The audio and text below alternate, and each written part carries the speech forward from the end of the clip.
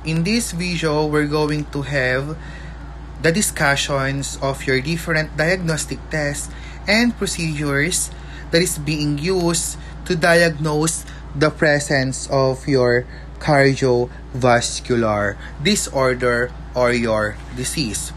First is that we have what we call your cardiac enzyme. Under your cardiac enzyme, we have what we call your CKMB or your creatinine kinase myocardial muscles. The CK test measures the total level but does not distinguish between the three isoenzyme. When there is an increased amount of your CK present in the blood, the CKMB test can be used to determine whether it is due to heart damage or is more likely to be related to skeletal muscle injury.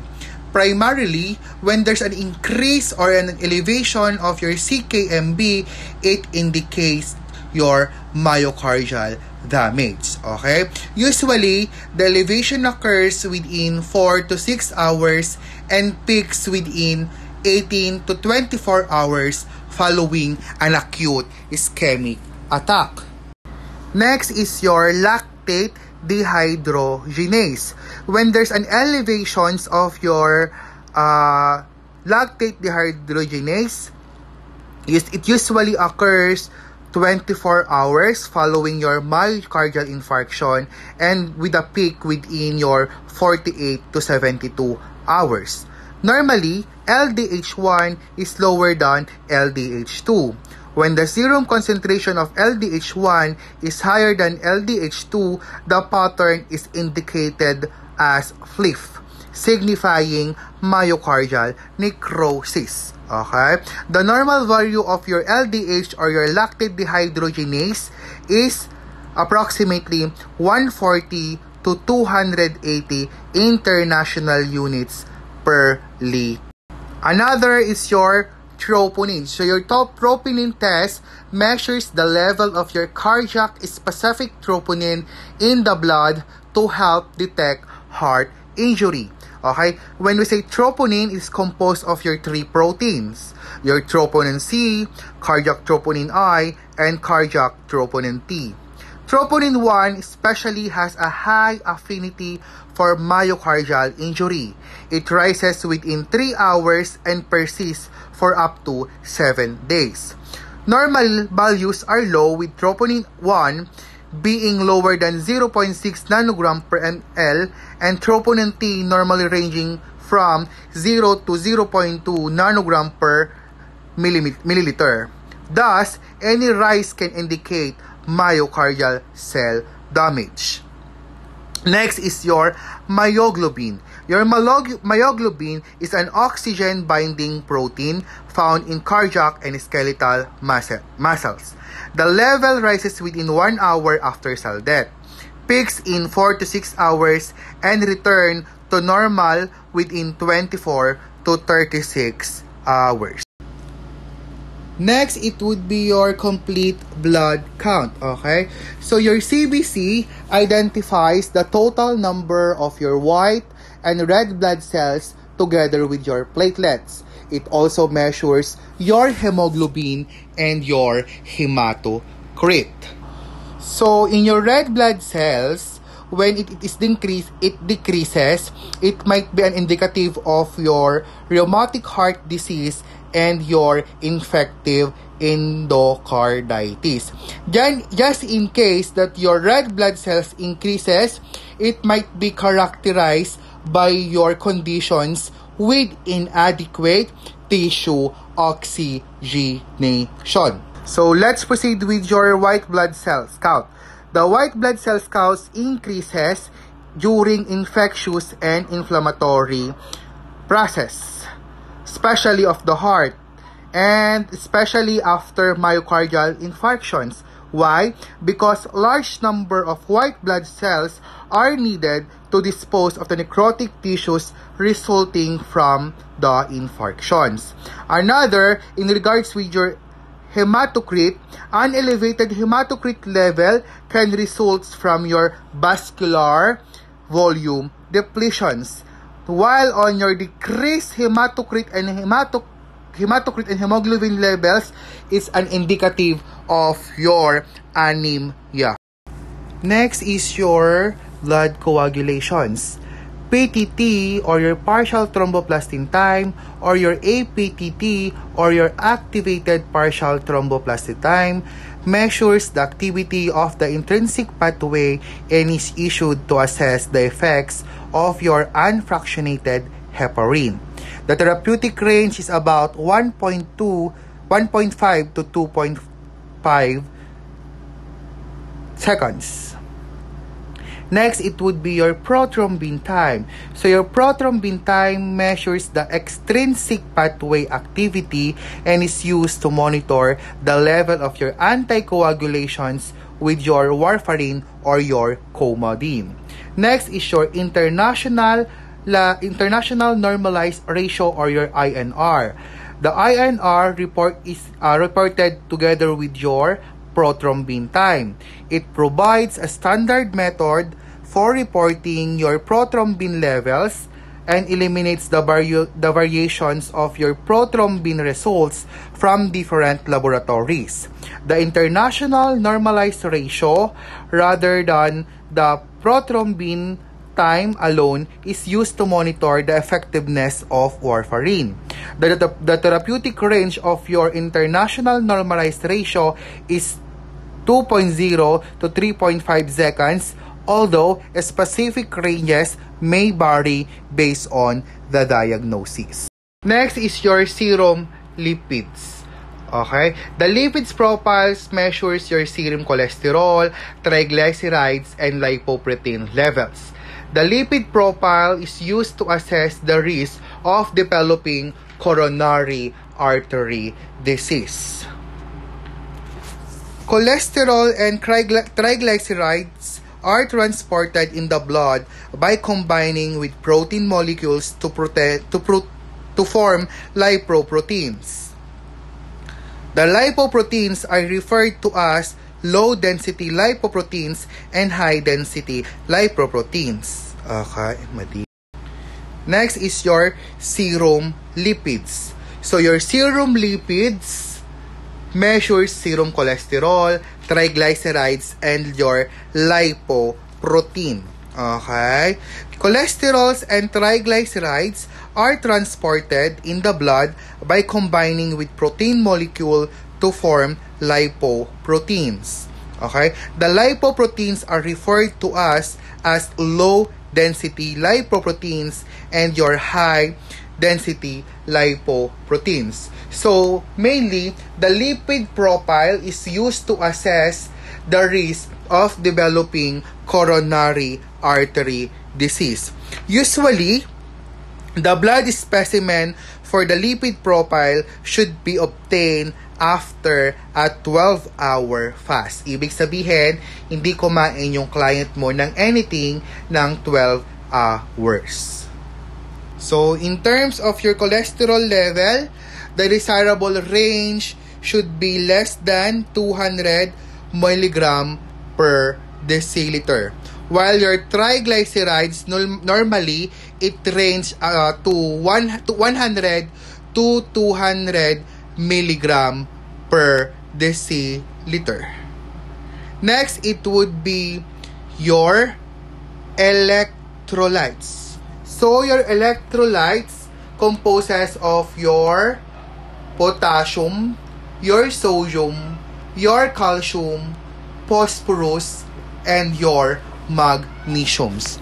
For your potassiums, usually, it has your what we call your hypokalemia or what we call your less than 3.5 mec per liter. Milli equivalent per liter. Hypokalemia causes increased cardiac electrical instability, ventricular dysrhythmia, and increased risk of your digoxin toxicity. Kung mapapansin ninyo, sa ECG din natin, meron ka ding manonotice na changes on your uh, uh, ECG uh, strips. So, in hypokalemia, uh, the ECG shows a flattening and inversion of the T wave. Okay? The appearance of U wave and ST depression is also present. If the client naman is having your hyperkalemia or what we call your 5.5 milliequivalent per liter na value ng potassiums, it indicates hypokalemia. It might be causes of your asystole and your ventricular dysrhythmias. Okay? In uh, in hypokalemia, you will notice the ECG changes together with your hyperkalemia. Okay?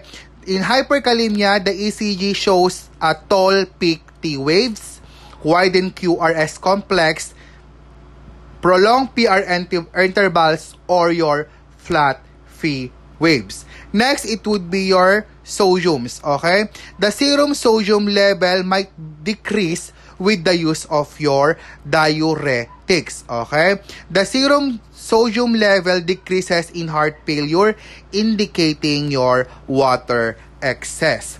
Next, it would be your calcium. Okay? So, calcium is necessary for blood coagulability, neuromuscular activity, and automaticity, automaticity of the nodal cells Okay, normal test. So, hypocalcemia and hypercalcemia. When you say hypocalcemia, there is a decreased level of your calcium in the blood. Together with your hyper, there's an increased level of your calcium in the lungs. So, hypocalcemia can causes ventricular dysrhythmias, prolonged ST and QT intervals, and worst thing is your cardiac arrest. For your hypercalcemia, it can cause a shortened ST segment and widened T wave, atrioventricular block, tachycardia or bradycardia, digitalis hypersensitivity, and cardiac arrest. So those are the possible results that might indicate your high or low presence of calcium. Okay? Next is your phosphorus level phosphorus level should be interpreted with calcium levels. Bakit? Because the kidneys retain or excrete one electrolyte in an inverse relationship to other.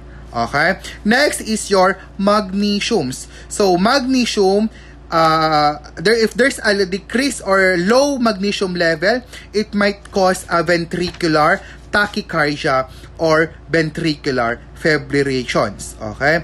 Your ECG changes may also observe with hypomagnesemia or yung mababa ang ating magnesium level. It includes your tall T waves and depressed ST segments. Okay? When we say high magnesium le- level naman, it is what you call your hypermagnesemia It may cause your muscle weakness, hypotensions, and your body cardia. So, if there's also an ECG changes shows uh, that might be observed sa may client nating with more hypermagnesemia. It includes your prolonged PR interval and your widened QRS complex. Another is your BUN or your blood urea nitrogens. Okay? The blood urea nitrogen level is elevated in heart disorders that adversely affect renal circulation, such as heart failure and cardiogenic shock. Next is your blood glucose. Okay? On your blood glucose, it is an acute cardiac episodes can elevate the blood glucose level. So if there's a presence of that, it might lead to your uh, acute cardiac episodes. Okay? Another is your B-type natriuretic peptide or your BNP. BNP is released in response to your atrial and ventricular stress, it serve as a marker for your congestive heart failure. So, ibig sabihin, magbibinat ito, okay? BNP level should be lower than 100 mg pg per ml because the higher the level, the more the severe the congestive heart failure is. Okay? So, kung mas mataas siya, mas severe yung condition ng client natin. Next, we will have what we call your chest radiograph. Okay? So, your chest radiograph is done to determine the size and silhouette and visualize the positions of your heart. Okay? So, in your chest radiography or your chest, chest ray, x-ray, uh, the specific pathological changes are difficult to determine. But anatomical changes can be seen. So, makikita natin dito. Okay? So, our nursing responsibility during chest x-ray, prepare our clients and explain the purpose and procedure to them and as much as possible, remove all your jewelry. Next is that you have what we call your ECG. I'm not going to discuss to you what is all about ECG. It's because you have a separate discussions in regards with your ECG. But just to give you a background in regards with your ECG, when we say ECG, it is it is it is to evaluate heart electrical activity. Next is your Holter monitoring. Okay? In this non-invasive test, the clients wear a Holter monitor and an electrocardiographic tracing that is recorded continuously over a period of 24 hours or more while the client perform his or her activity of daily living. The Holter monitor identifies dysrhythmias if they occur and evaluates the effectiveness of antidysrhythmics or your pacemaker therapy. So what is our nursing intervention if the client is placed under Holter monitoring. Number one, instruct the client to resume normal daily activities kasi nga po yun po ang mini-measures natin. And to maintain a diary documenting activities and any symptoms that might develop for correlations with the electrocardiograph tracing. Next, instruct the client to avoid bathtubs or showers. Bakit? It because it will interfere with the electrographic recorder device. Okay?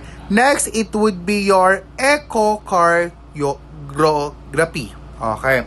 So, your echocardiography it yields informations about cardiac structures and functions. So if you will notice guys in the picture, yung client natin nakahiga, merong monitoring dito, merong probe na ilalagay, then ilalagay siya sa may chest part para sa ganun ma-visualize yung ating hearts. Okay? Yung para makita natin yung structures and functions. If you will notice this one, ito po yung makikita nyo doon sa monitor natin once that the echocardiographer is performing yung scanning niya. Okay? So, the description of your echocardiogram is that it is a non-invasive procedure based on the principle of your ultrasound. That's what I've said. Gagamitan po siya ng ultrasounds that evaluates your cardiac structures and fun uh, functions. Okay? The heart chamber size is measured, ejection fraction is calculated, and flow gradient across the valves is determined. So, yun yung mga makikita natin doon. Okay? So, our nursing interventions would be number one, the only interventions that we will going to provide is that Determine the client's ability to lie still and advise the client to lie still, breathe normally, and refrain from talking during tests. Okay? So, dapat yung client natin during echocardiography is relax lang. Next is your exercise testing. This is a non-invasive test studies of the heart during activity and detects and evaluates coronary artery disease. Guys, if you will notice this one, this is what we call your tres treadmill. So, commonly, they use the treadmill to test for your stress testing. Uh, sabi ko nga, it is a non-invasive pero it might be your invasive siya when there's a radionuclide uh, is injected. Okay? So, if there's a presence of your radionuclide, so, yun na yung tinatawag nating medyo invasive na siya. Okay? Bakit po? Kasi nga po, we're going to inject your radionuclide. Okay? Just in case that if, uh, if they will gonna use your uh, radionuclide, you need, as a nurse, our, uh, our main concern is that we need to have your consent. Okay? Sir, just in case that the client is unable to tolerate exercise, Okay? Just in case po hindi siya makagalaw, hindi siya maka, hindi siya able na gumawa. Okay? So if that's occur, if that will happen, sorry, if what will happen, an intravenous infusion of dipyrimadol, dobutamine hydrochlorides, and adenosine is to be given to dilate the coronary arteries and stimulate the effect of exercise. Okay?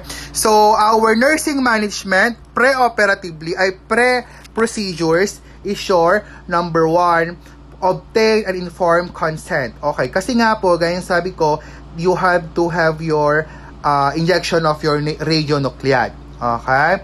Next, provide adequate rest the night before the procedures. Kasi nga po, uh, yung test gagamitin mo ng treadmill, so papagalawin yung client mo. So, dapat magkaroon siya ng lakas. Next, instruct the client to eat a light meal 1 to 2 hours before the procedures. Para at least magkaroon, meron siyang source of energy. Okay? Next, instruct the client to avoid smoking, alcohol, and caffeine before the procedure. Bakit po? It's because it stimulate your constrictions. Ang gusto natin, constriction relations, dilation. So, dapat i-avoid natin siya. Okay? Instruct the client to ask the physicians about taking prescribed medications on the day of the procedures. Okay? Number one is your theophylline products are usually, ano bakit ang theophylline products natin? Okay? Kailangan natin siyang i-hold. Theophylline together with your beta blockers. Okay, for your theophylline, kailangan natin hold siya for 12 hours. While for your calcium channel blockers, we need to hold at for your 24 hours. Para at the same time magkaroon ng problema. Okay? Kasi nga po itong mga to, it might cause your tachycardia or mag-increase po ang ating heart rates. Next is that, instruct the client to wear non-constrictive, comfortable clothing and supportive rubber sole shoes for the exercise stress test. Bakit po? Kasi nga po, yung mga masisikip na damit pwedeng mag-cause ng constrictions. Eh, ang gusto natin, dilations. Okay? Next, we need also to watch out for what? We need to watch out for your uh, chest pain, dizziness, and your shortness of breath during the procedure. If this will happen, as a nurse, you will need to notify the physicians. Okay? We need to motiv- uh, notify the physicians. Number three, it's your uh, tag ito, post-procedure na. Okay? So, our post-procedure, it would be your instruct the client to avoid taking a hot bath or shower for at least 1 to 2 hours. Kasi mabibigla po yun. Magbibigla siya tayong magkakaroon ng constrictions. Okay? Next is your angiography. So when we say angiography, it is the visualization, the visualization of the coronary arteries with the ejection of your radiopaque contrast media. So if you will going to uh, check for the picture, guys, ito po yung pictures niya kung paano po siya nangyayari. So meron siyang catheter na in-insert. Tapos, ayun. Okay. So, your uh, ang geography, uh, ginagamitan po siya ng dye. Oh, so, so what will be our nursing interventions if, uh, if the patients will undergo angiography? First is that assess for allergies to seafood, iodine, or your radiopaque dyes. Okay? Just in case the, pre- the there's a presence of your allergic reactions or there's a presence of allergy, just inform your uh, attending physicians and she or he might be prescribed uh, be prescribed yung uh, antihistamine and your corticosteroids to prevent your what we call your reactions during the test. Okay? We need also to check for or to obtain for your informed consent kasi nga we're going to inject your radiopics. Next is your uh, post procedures, we just to monitor for your vital signs, especially this is your cardio. We need to check for your uh, heart rate, for your blood pressure, together with respirations. Okay? Then afterwards, we need to check for your uh, sight, if there's a presence of your bleeding or discomfort. Kasi nga, meron tayong uh, port of entry ng catheter. Kaya the patient is at risk of developing your bleeding. Okay? Next is your MRI. So your MRI is a test that produces an image of the heart or great vessels through interactions of your magnetic fields, radio waves, and your anatomic nuclei. So your MRI MRI also provide an informations on the chamber size of the heart and your the thickness of the heart. Okay? It, uh, it also provide the informations of your valve and your ventricular functions together with the blood flow through the great blood vessels and your coronary arteries. Okay? So what is our uh, nursing interventions? Before the procedure. So, we need to ask the client if there's a presence of your face maker or your implanted items. Okay? It's because as much as possible, when the client is going to have your MRI, there should no be uh, metals. Wala dapat metals. That's why another intervention is that when the client has jewelries, yung mga watch and yung mga coins, we need to remove that before the patients will undergo MRI. So, kasi nga gagamit po tayo ng magnetic fields. Another is that uh, assess mo yung client mo or ask the client if he is uh, if he or she is claustrophobic. Ano po 'yon? Kung takot po ba siya doon sa closed spaces. Okay? So inform natin siya.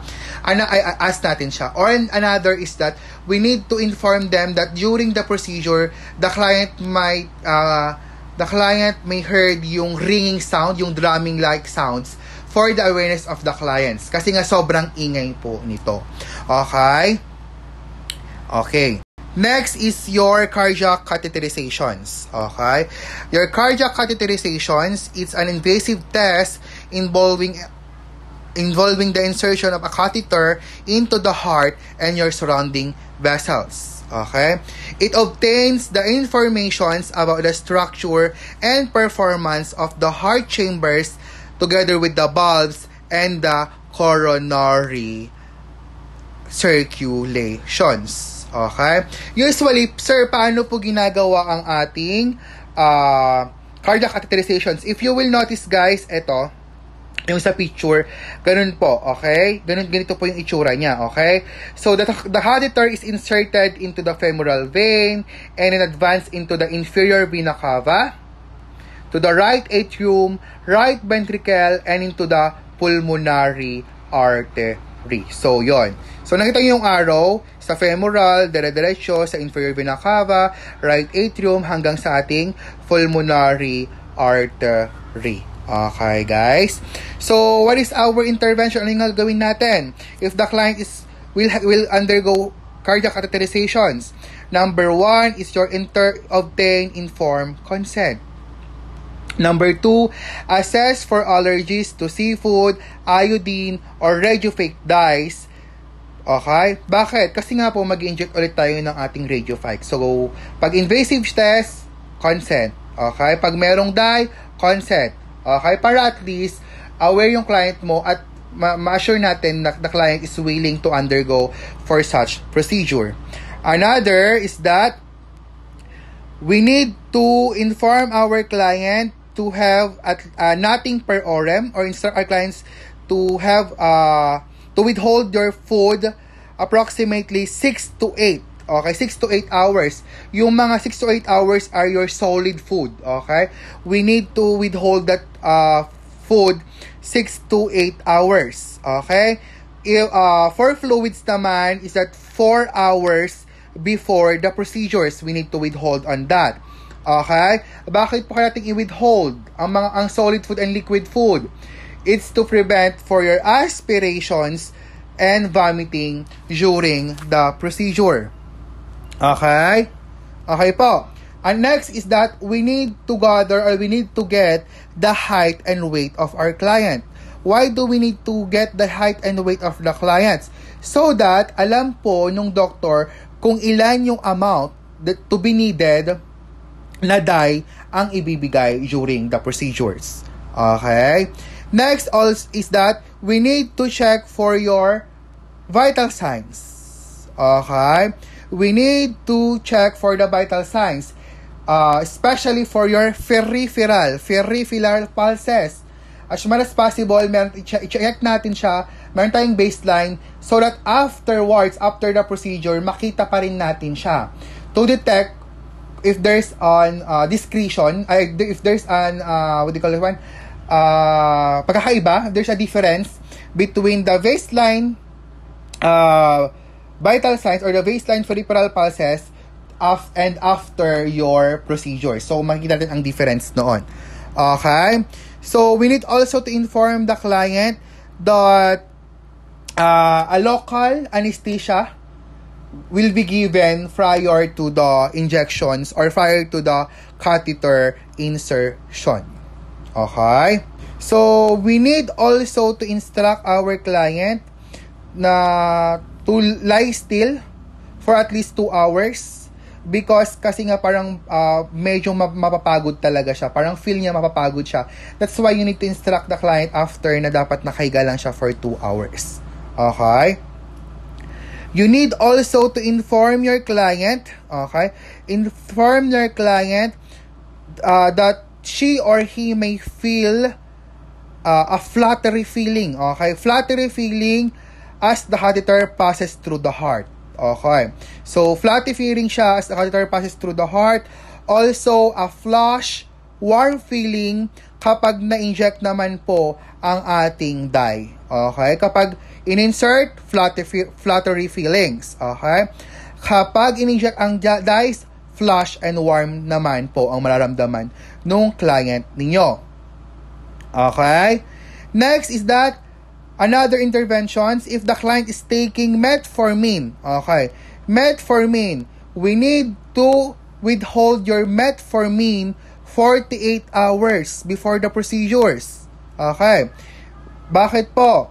It's because of the risk of your lactic acidosis. Okay, lactic acidosis, bakit nga po? Bakit magkar pwedeng magkaroon ng lactic acidosis? Because we, because we will gonna use your iodine dye. So, as much as possible, ask the client kung may maintenance ba siya na metformin, withhold mo siya 48 hours. Okay? Next is that, prepare the insertion site by shaving and cleaning with an antiseptic solution sa insertion site. Bakit po? Gaya po ng sabi ko, it's an invasive procedure. So, uh, the patient is a high risk of developing infections. That's why, as much as possible, we need to prepare the insertion sites aseptically. Okay? So, next is that we need also to administer medications sa client nyo, especially your sedatives, if prescribed. Okay? Para at least, tulog po yung client natin during the procedures. Okay? Next, we need also to uh, insert an IV line if it's indicated. Okay? If it's in indicate, indicated. Okay? So, next is that what is our interventions post procedure? So, our intervention post procedure is number one, monitor vital signs and cardiac rhythm for the presence of your dysrhythmias. Okay? So, gaano siya, ga- gaano yung intervals niya? As much as possible, check for the vital signs. Every 30 minutes for how long? For 2 hours. Okay, you need to check, you need to monitor your client vital signs every 30 minutes for 2 hours. Next, what do we need to assess? What do we need to check? Okay, we need to check if the patients will complain chest pain. Okay? if the client has cardiac dysrhythmias, okay? If the client has bleeding and hematoma, and if the client has no peripheral pulses, and if the client is pale and cool, that's the time we need to notify the physicians, okay? It's because maybe the client or the client now is now developing the what we call your complications related to their procedures. So we need to inform our clients. Okay? We need to inform our doctor, sorry, our doctor.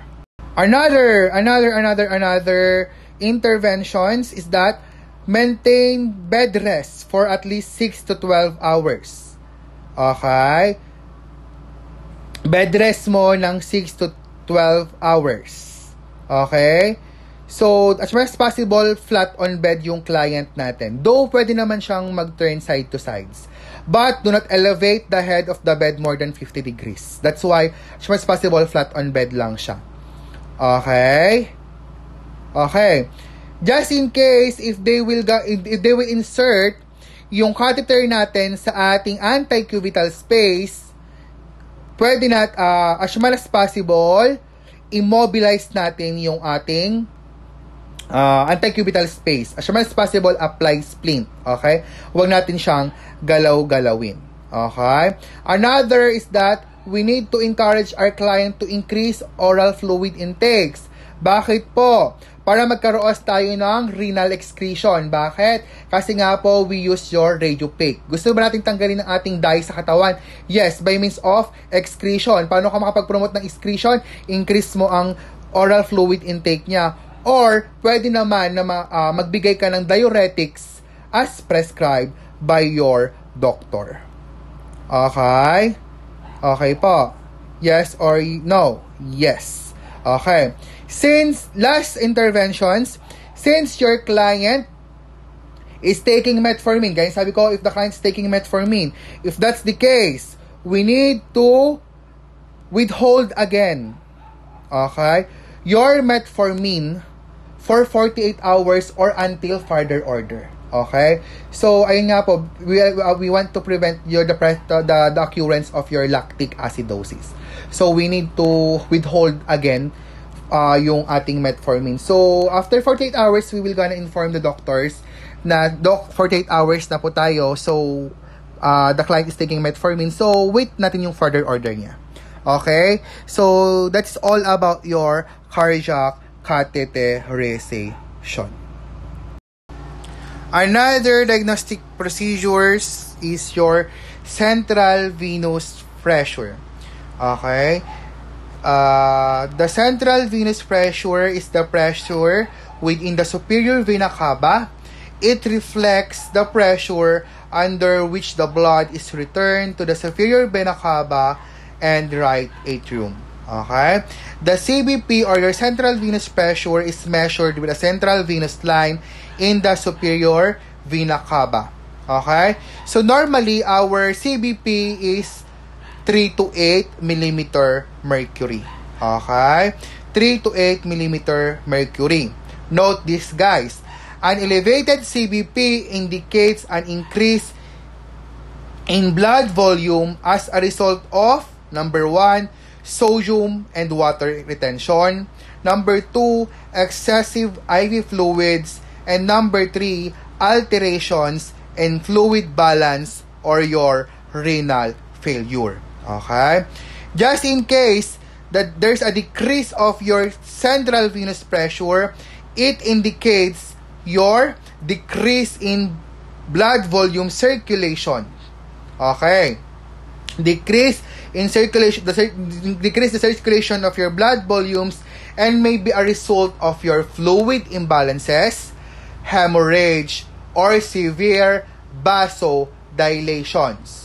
Okay? So, yung mga pwedeng maging indicative pag nagkaroon ng decreased CBP. Okay? How we are going to measure your CBP. Okay? How we are going to measure the CBP.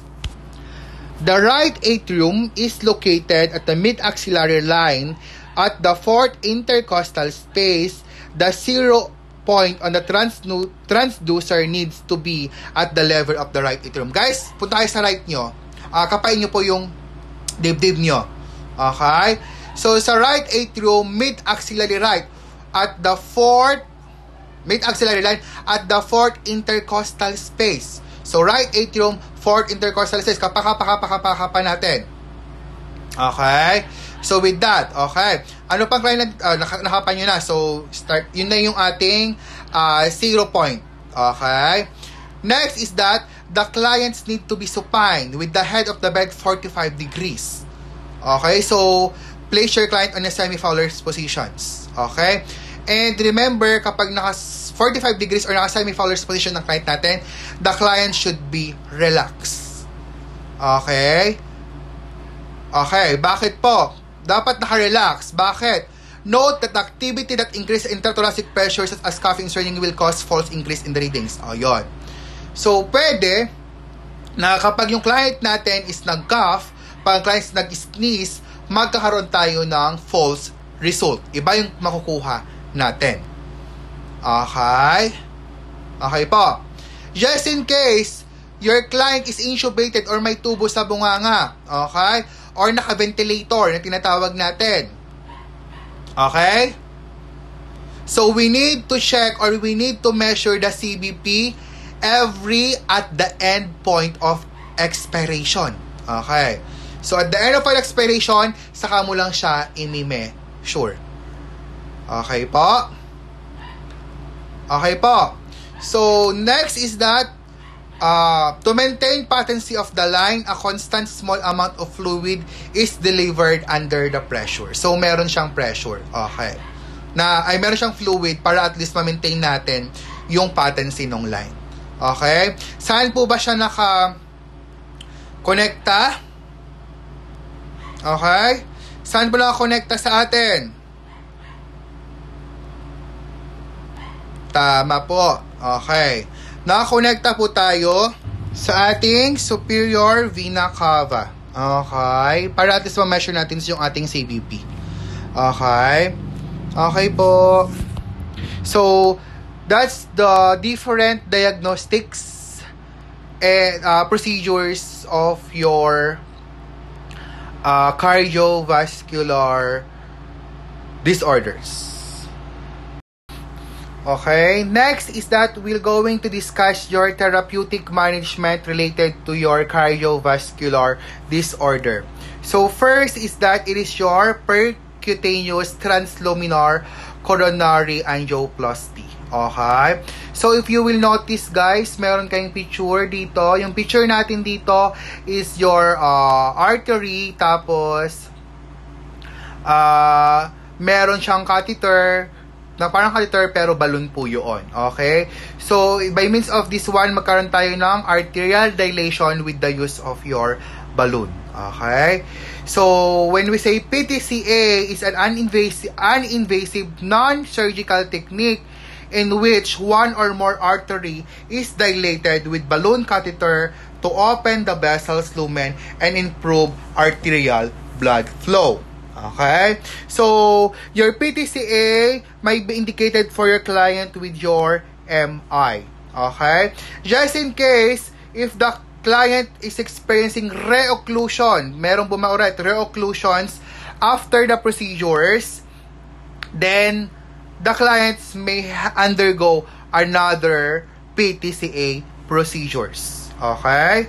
So, another PTCA procedures.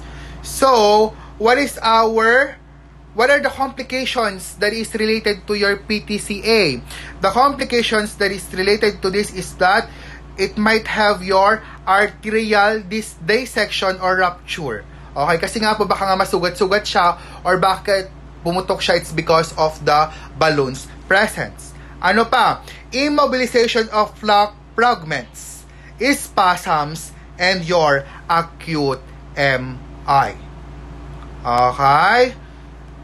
Okay po. So, what will be our health educations to our clients before the procedure? Yung mga pwede nating sabihin sa client, sa client natin. Okay. The clients might adhere to stop smoking. Okay. Uh, magkaroon ng diet. The client must lose weight.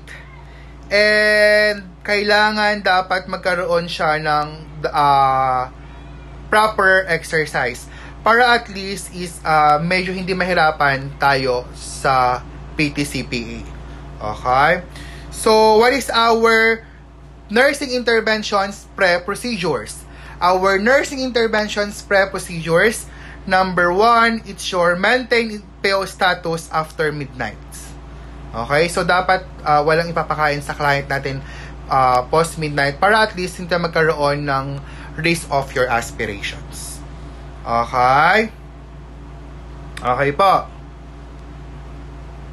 Okay. Next, we need also to prepare prepare for your uh, insertion site. Okay? Kasi non-surgical naman siya, pero meron pa rin siyang insertion site para doon uh, dada, uh, papasok yung ating catheter with balloons.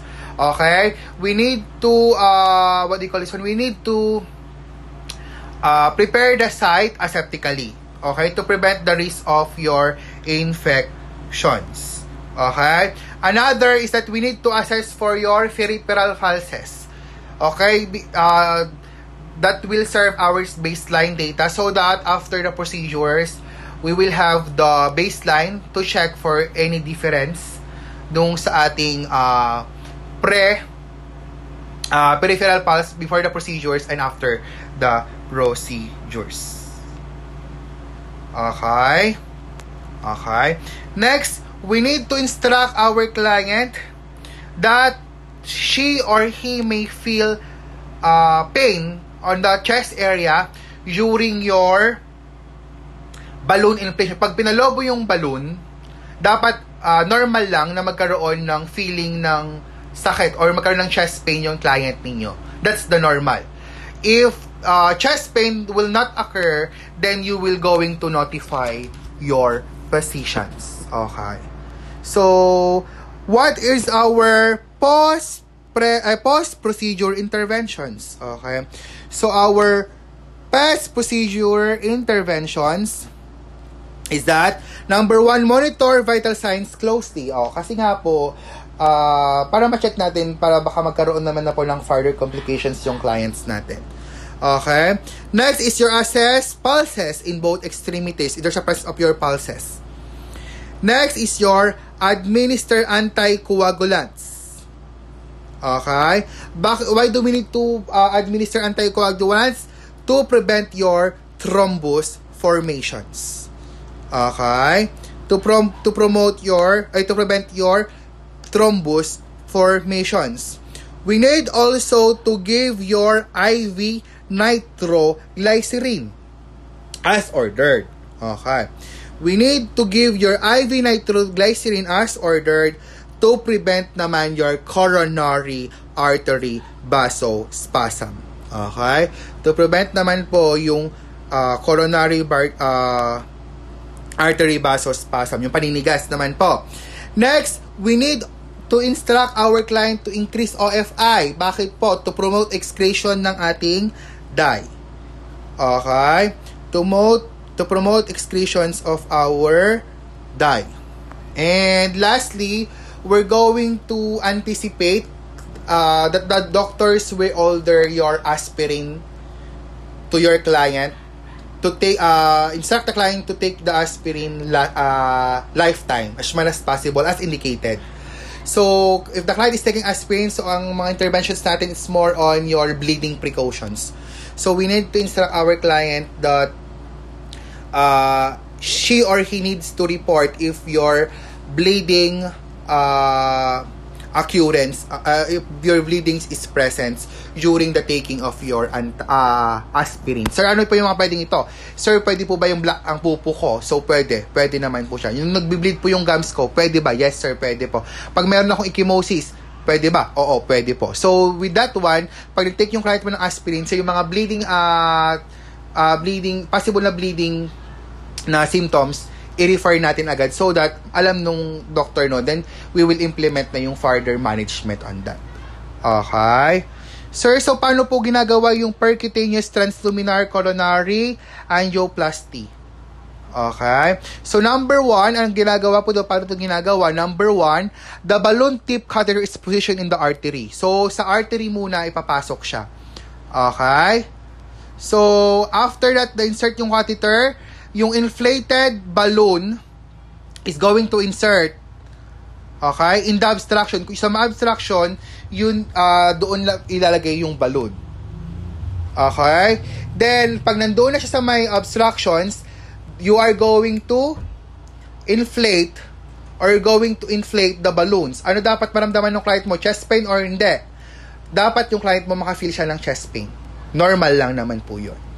Okay Then after that, uh, kapag na-flatten na yung ating mga flak, then they will gonna remove the balloon. So, ganun po yung ginagawa sa atin sa percutaneous transluminal coronary angioplasty. Paano ginagawa dito? arterial dilations with the use of what? With the use of your balloon. Balloon, balloon, balloon. Next therapeutic management is your is your laser assisted angioplasty. Okay? So ito po yung laser assisted angioplasty natin. Okay? Laser assisted angioplasty. Your laser assisted angioplasty uh, same lang naman po siya ng PTC PTCA. Kaso yung sa PTCA yung malalaki na uh, artery ang ang dinadilate natin. On this part naman po siya is your mga small, yung mga uh, bumab nabarahan na maliliit lang naman siya. Okay. So, same management with your PTCPA. Okay. So, for small occlusions, it's your, we will use the laser-assisted angioplasty. Another is your coronary artery stents. Okay? So, it, ito, stent, stent, stent. So, your coronary artery stents are used in conjunctions with your PTCA to provide a supportive scaffold to eliminate the risk of your acute coronary vessel closure and to improve long-term patency of the vessels. So in this, a catheter, a balloon catheter bearing the stent in the inserted into the coronary artery and position at the side of occlusions and your balloons inflated then deploys the stent. Okay? Guys, I will going to send na lang sa inyo ng video on how to perform your PTCA, your laser-assisted angioplasty together with your coronary stent so that you will be able to appreciate yung ating uh, procedures. Okay? So, what is our prep procedure for your coronary artery stent? Number one is that uh, same siya. o yun, para mas madali. Same siya with your PTCPA again pa rin. Kung ano yung management ng sa PTCPA, yun pa rin ang ating gagawin. Okay? So, same lang siya ng management with your PTCPA. Next is your atherectomy. Okay? Your atherectomy is the removal of your plaques from the coronary artery by the use of your cutting chamber on the inserted catheter. Okay? Siya. So, ay, our nursing interventions is that same pa din siya with your PTCPA. Okay? So, what do we monitor na lang? We need to monitor for your complications just like your perforations, embolus, and your reocclusion. Okay? Perforation, embolus, and your reocclusions. Another, it would be your transmyocardial revascularizations. Okay. It is used for client with widespread atherosclerosis involving vessels that are too small and numerous for replacement or balloon catheterizations performed through a small chest incisions. It is uses as a high-powered lasers that creates 20 to 24 channels through the ventricular muscles of the left ventricle, in which the blood enters to the small channels, providing the affected region of the heart with your oxygenated blood. Okay? That's what you call your ating transmyocardial revascularizations. Another is your arterial revascularizations. It is done to increase arterial blood flow to the affected limb naman. Okay? So more on your your your, your arterial revascularizations is indicated for your clients with your arterial vascular disorder. Okay. So, what will be our management? Our management, number one, assist baseline data and peripheral pulses. Number two, insert your line and urinary catheter. Number three, maintain your CBP. For your post-operative, you need to assess the vital signs. You need to check for your BP. If there's uh, changes of your blood pressure, you need to inform your doctor. Okay? It's because if there's a presence of your hypovolim, hypotensions or mababa ang BP, the clients may experience uh, is, is experiencing your hypovolemia. Okay? And kapag mataas naman po, if there's a presence of high pressure or elevated blood pressures, it might facilitate your clot formation. inflammations. Okay? Another is that we need to instruct our client to maintain bed rest for 24 hours. Okay? So, yun po yung mga pwede natin gawin. Next, we need to instruct our client to, uh, as much as possible, to avoid or to limit or to immobilize the uh, affected extremities para at least hindi tayo magkaroon ng ating uh, what do you call this one? ng ating re-occlusion. Okay po. So, another, we need to monitor for your bleeding. So, yun yung mga pwede nating uh, interventions in regards with your arterial revascularizations. Okay? Next is our coronary artery bypass grafting. Okay? So, your CABG. Okay? Coronary artery bypass grafting. Okay? So, The occluded coronary arteries are bypassed with the client's own venous or arterial bloods. Okay. In here, the saphenous vein, internal mammary artery, or other arteries may be used to bypass lesions in the coronary arteries. Okay. Coronary artery bypass grafting is performed when the client does not respond to medical management of the coronary artery or when vessels are severely occluded. So, ang mangyari dito, uh, bypass lang naman. So, dap, uh, kung yung uh, kung sana yung line natin, say for example, is yung line 1 to line 2, going to line 3, side for example, nag-occlude ang line 2, so i-connect natin ang yung line 1 to line 3 para continue pa rin yung flow natin. That's what you call your bypass. Okay? That is what you call your bypass. So what will be our nursing management? Our nursing management, we need to inform the family and the patients that uh, the uh, client may uh, stay to your surgical critical care units. Okay, kasi nga medyo hectic or medyo uh, ang tawag dito, risky yung procedures natin. Okay? Next, inform the client to expect an external incisions. Okay. Next is that inform the client that an ET tube might be inserted at hindi siya makapagsalita. Okay? So, normal lang naman yun kasi nga uh, merong tubo na nakalagay doon. Okay? Okay po. Inform the client that since the client has your ET tube, he or she should uh, maybe hook into your mechanical ventilations that will assist him or her on her on his or her ventilations. Okay? Okay po. Next is that uh, we need to administer yung mga medications na prescribed by the doctors before your uh, procedures such as your potassium chloride, antihypertensive, antidysrhythmics, and antibiotics. So, it depends kung ano po yung i-order ng ating doctor.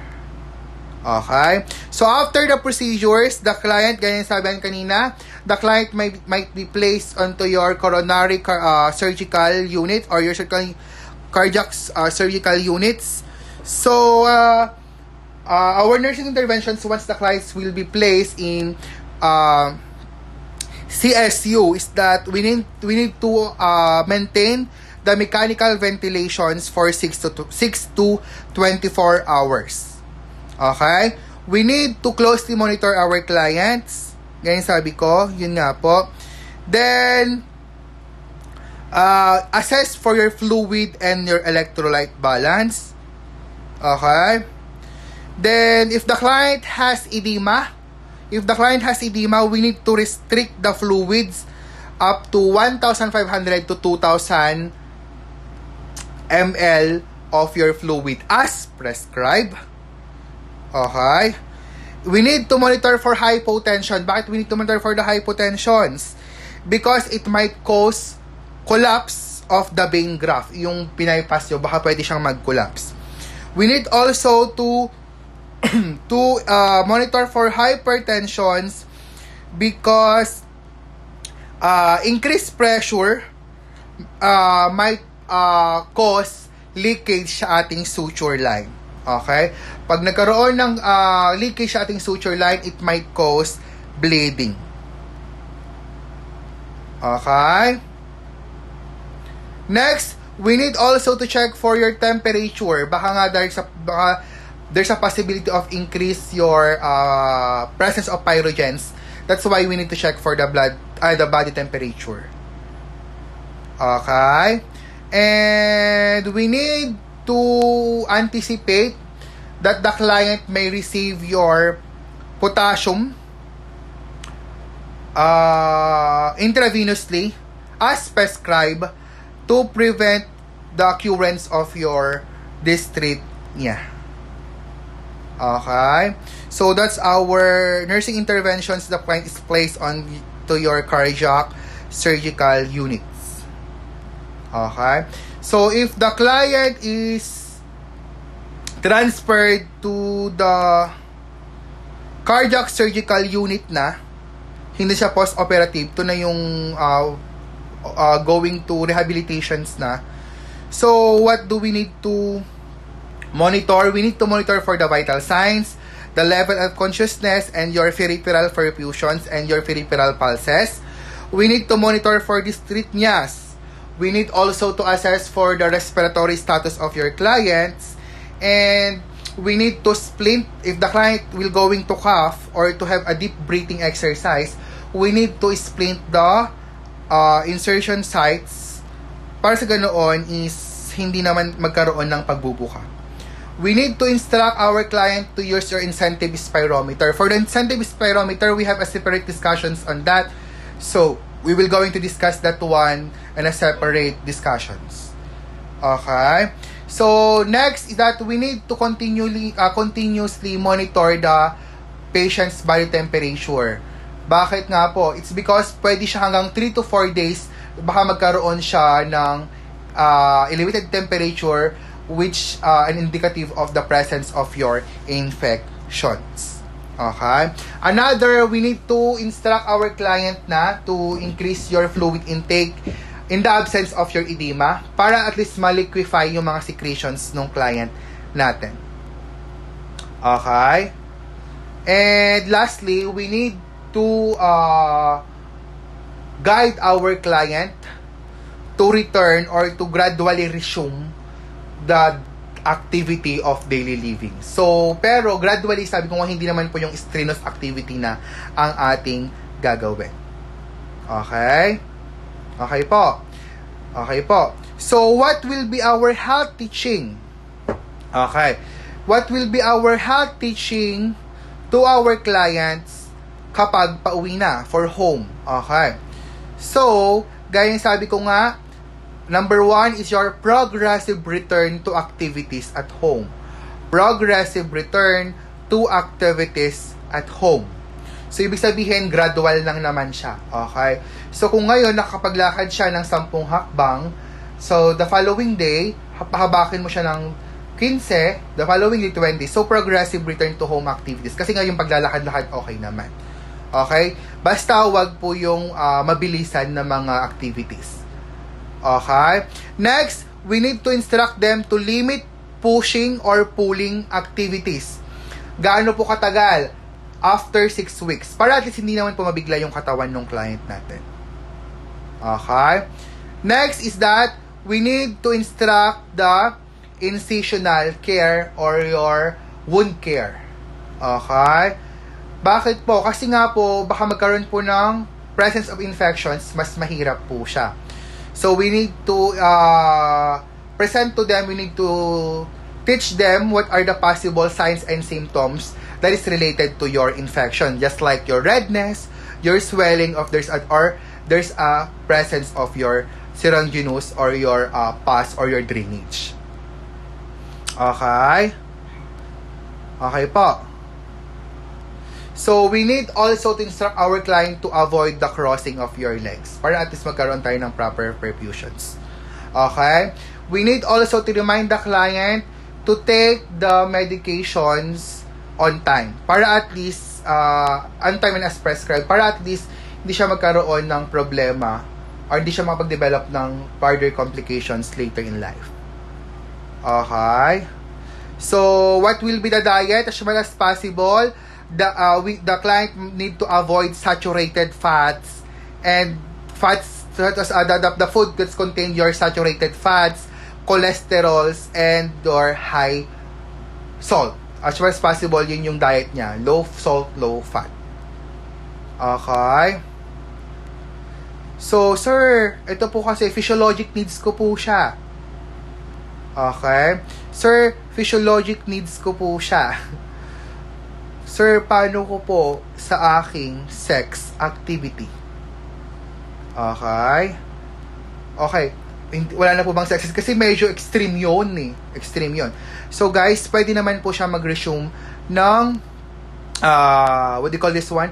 Pwede siya mag-resume ng sexual activity niya basta bumalik na siya na-resume na niya or tolerated na niya yung exercise niya plus the patients can walk one block or climb two flights of your stairs na walang nararamdaman.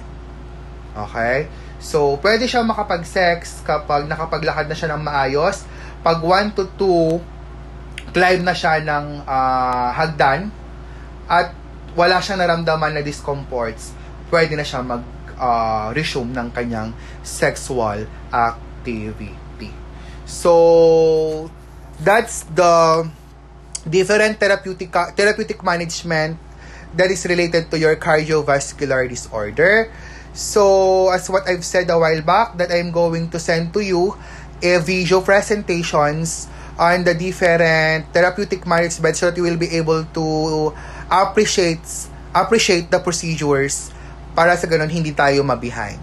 Okay. So, thank you for your thank you for listening with my uh, brief discussions on the diagnostic and your therapeutic managements related to your cardiovascular disorder.